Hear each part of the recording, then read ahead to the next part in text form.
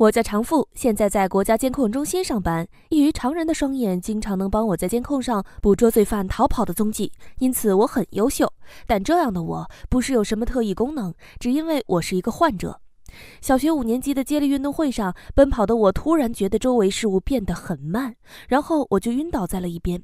事后父母带我去看医生，医生诊断出我患有动态视力，能看到常人看不到的瞬间。简单来说，就是我的双眼有慢放镜头的功能，能专注盯着一件事儿。但唯一的弊端就是我不能跑步，因为跑起来的话，大脑接收不了所看到的信息。一句话总结就是眼睛太好了，所以跑不了。医生建议最好戴上眼镜，遮挡不必要的事物。虽然我有病，但偶尔能看见别人看不见的风景，这也算是不幸中的大幸吧。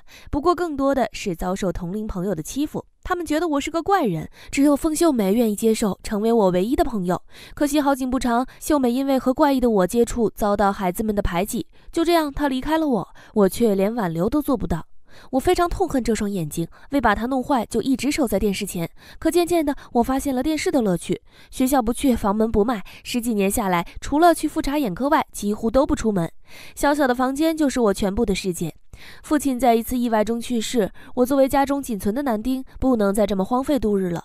于是找监控管理员的工作，在这儿能看到人们的日常生活。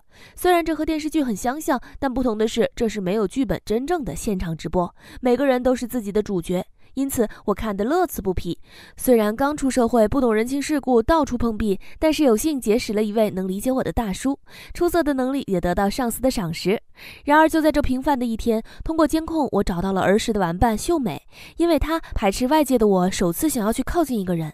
每天通过监控偷偷观察，走一遍他走过的路，会在他停住的地方放置休息的沙发。一天下着很大的雨，我鼓起勇气想去给他送伞。大叔也很支持，并教我说一些好听的话。然而我被当成了变态。好不容易找到秀梅，我怎会轻易放弃？先找母亲给我修了一个当下最流行的发型。捧着鲜花去找她时，她正因为接到演员面试而当街唱起歌来。我听到跟着入迷，并顺手救下差点被车撞的她。选择再次表白的我，又被他痛骂是变态。我不想被误会，就把自己的身份说出来，但他却说我认错人了。她不是凤秀美，而是吴秀美。原本我真以为认错了人，无意碰见也没去纠缠，而她却开始好声好气地和我说话，并使唤我帮她拿东西。从那天开始，我们就有了交集，会一起吃饭喝酒，帮她演练台词。渐渐接触下来，我越加坚信她就是凤秀美。也许有什么难言之隐说不出口，我不介意这些，只是对她的出现更加的关注。每天通过摄像头看她去过哪儿，然后自己走一遍，绘画出对我而言更大的世界。得知我在监控中心上班，他就时不时通过摄像头和我沟通。一次，秀美的债主找上了他，我英雄救美，帮他脱离困境，这让秀美十分感动。她说想看海，想要有人能开车带她去海边兜风。显然，我就想成为那个人。但问了周围的亲朋好友一遍，大家都穷得很，没有车，只有通过监控认识的一位公交车司机，他勉强算是有车一族。于是，在司机的帮助下，我们乘车去海边。可惜公交车不能出城，被交警拦下。不过，我们之间的感情好像升温了许多。一天，警察说需要我们找出强奸犯的车辆踪迹。我下意识地调出秀美的监控，却不见她的人影。急迫地找过去，却因为不能跑步而频频摔倒。等找到她出事的地点后，谁想这是她的一次恶作剧。通过这次，他意识到了我对他的真情实意。我再次趁气氛好表白，就算他不像小时候的凤秀美一样，我也喜欢他。于是我们俩有了新的突破。晚上我送秀美回家，没想到债主找上门并抄他家。本来我想冲上去帮忙，不料眼疾突然加重，所见之处一片朦胧。事后，在一堆废墟中，秀美找出了幼时我画给她的画像。她承认了自己就是凤秀美，小时候也是喜欢我，但在霸凌中，她临阵退缩了。所以，愧疚的她在一开始根本不敢承认自己就是我要找的人。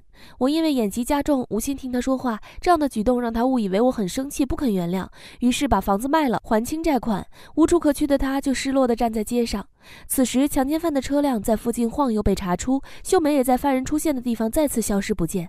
我害怕会出事儿，就赶紧跑去找秀美。也真的是被强奸犯抓走，在差点被抓上车的那刻，我及时赶到。强奸犯在听见我的声音时就逃跑了。虽然人救回来了，但我的双眼因奔跑加用眼过度，已经完全失明了。不敢面对的我选择了逃避。在这晚，我们分开了，一别就是几年。几年后的一天，秀美回来了，她想和我打招呼，却见到了这副模样的我。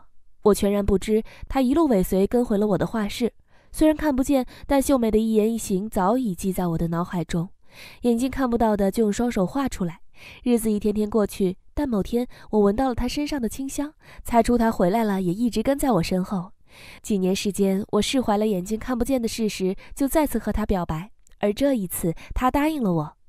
好啦，这就是今天萌妹带来的影片慢放镜头，我们下次再见。